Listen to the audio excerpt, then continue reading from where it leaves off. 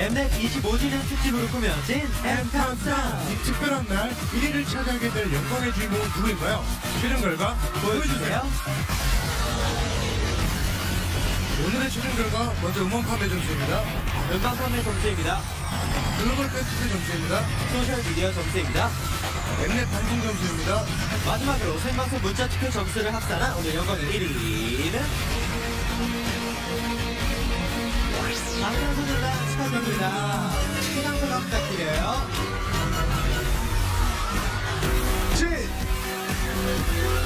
저요?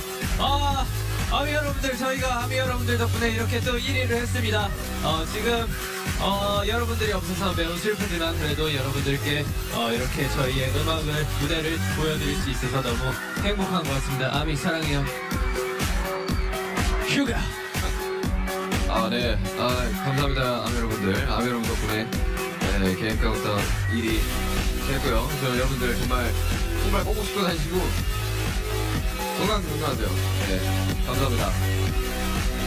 네, 1위를 차지한 방탄소년단의 앵콜 공연 계속해서 함께 해주시고요. 네, 앞으로의 25년, 50년도 엠넷은 음악과 그리고 바로 여러분들이죠. 음악 팬들과 함께 하겠습니다. 그럼 저희는 다음 주 더욱 멋진 음악으로 돌아올게요. 모여 넘어기 폭철쇼 엠 카운트다운 다음 주에 만나요. 안녕. 예. 여러분 감사합니다.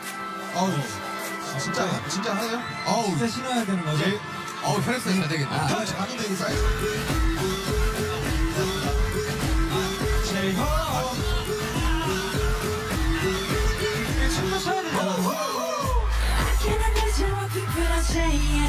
진단에 맞춰야 될 발자국 되면 발자국 켜지는 shadow. 밤